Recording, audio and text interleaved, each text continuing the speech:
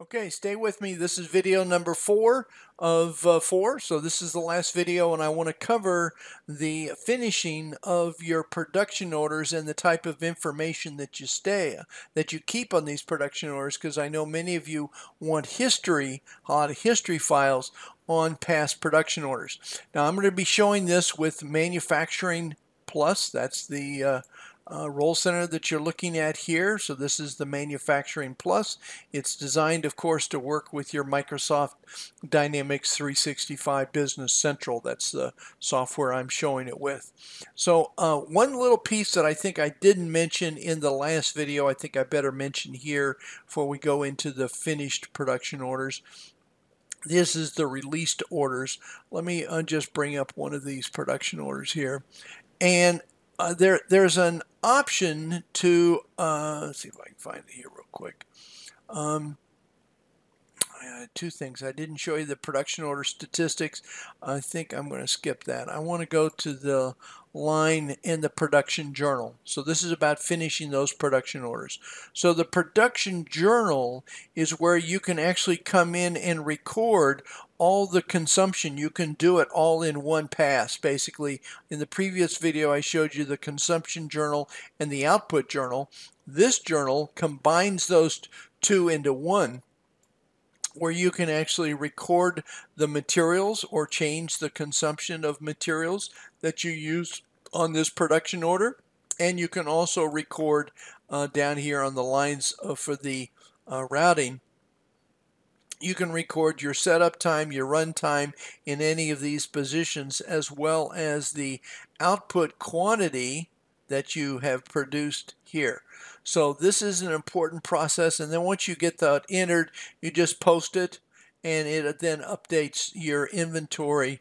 Uh, you're basically adding through this, you're adding quantity on hand, in this case 10, to your finished good uh, quantity on hand so that you can of course uh, ship and invoice your products to your customer. That's the main purpose here. Okay, so you've finished that, and then you would simply, uh, you would want to run a function to change the status uh, from released to uh, finished. Uh, we would want the status to change to finish of that production order. And I want to take you into the finished production orders just so you can see the kind of information. I don't have a lot of sample data in here, but enough to kind of get you going. So I'm going to go to my posted documents. I want to see the finished production orders. It's right there. So I've only got one, but it'll give you an idea. So I've got, uh, let's just open this up. You'll notice it looks just about like a regular production order, okay? Except the status now is finished. So this is a finished production order. It shows the quantity that I have finished or shows down here the estimated uh, cost information, the actual cost information, and of course my statistic windows are showing now with the actual cost because now it's a finished production order, not one that's in process, because those ones in process change so much. But this is a finished one, so I can see the actual work. I have access to a variety of reports, processes. I can see my ledger entries, my item entries, my value entries, and the one I like a lot is this production order statistics. This lets me compare side by side my expected cost. Well, it's actually got my standard cost showing. It's got the expected cost, it's got the actual cost side by side, and then what the deviation is between the two percentage, and then a dollar amount and standard cost deviation and expected uh, deviation. All of that is shown here and what the capacity need was, hours, parts per hour, all of that. Very nice statistic window about that production order. This is for that finished production order. And quite frankly, I didn't show this to you, but this is this same statistic window here is available on your released and even your simulated production orders. Of course, on simulated, there is no actual cost. It's only actual cost on your um, uh, the um, uh, released orders is where you're going to post your time and your material consumption. Okay, um, so I wanted to show you that.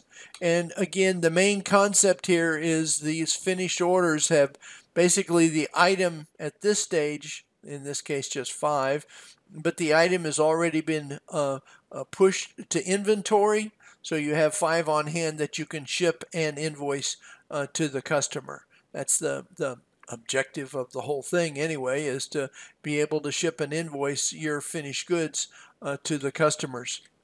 So I wanted to give you this little kind of overview of not only the Business Central manufacturing part, but also some of the enhancements. I think you saw quite a few of them here with the Manufacturing Plus uh, app that's created by Cost Control. I hope you like it. If you have any questions about it, I certainly want you to pick up the phone and, and give me a call. Uh, if you would like a brochure or um, a list of all the features that are in there, I've got a, a nice detailed listing of all the features. I didn't get to show everything, but enough to kind of get you uh, hopefully excited about it. We certainly love what we've done to enhance and make the usability of this Dynamics 365 Business Central um, much, much easier to use, especially in the manufacturing uh, sectors. Okay, uh, thanks very much. I hope you enjoyed it and uh, be in touch. Thanks.